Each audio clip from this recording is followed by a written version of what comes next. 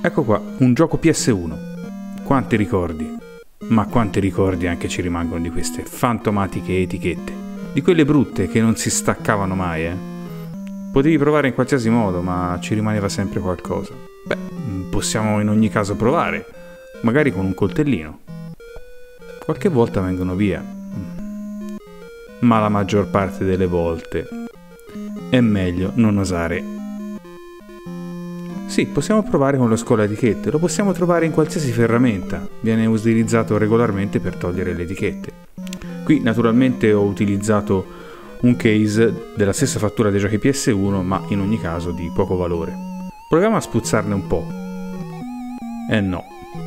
Come vedete lascia degli aloni molto importanti e va proprio a deteriorare il case. Quindi meglio non usarlo. Ma ecco qua il famoso rimedio della nonna. Basta soltanto un po' d'acqua, del cotone e olio extravergine di oliva. Prima di tutto andiamo ad inumidire l'etichetta con il nostro cotone ben imbevuto. Basta che sia abbastanza bagnata, in modo che la carta che è rimasta dell'etichetta piano piano si inumidisca. E poi basta creare dell'attrito anche con le dita per togliere lo strato di carta superiore. In questo modo, delicatamente, magari senza danneggiare la custodia. Successivamente arriva il nostro olio. Basta una goccia. Distendere delicatamente con il dito in modo da far impregnare bene la colla delle etichette.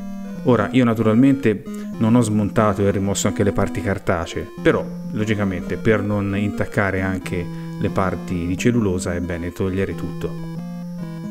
Successivamente, con l'unghia, dopo aver aspettato magari qualche minuto, andiamo a delicatamente raschiare la colla che ormai è stata fluidificata dall'olio e basta una leggera pressione con l'unghia che, come potete vedere, viene via in maniera abbastanza agevole. Successivamente, con un po' di carta andiamo a eliminare residui d'olio che vengono via in maniera molto molto semplice. Se proprio rimane qualcosa, magari levare con lo sgrassatore. Ecco qua il risultato finito. Praticamente le nostre etichette se ne sono andate via. A Retro Gaming Shop piace anche usare metodi naturali e con gli ingredienti giusti e un po' di pazienza il gioco è fatto.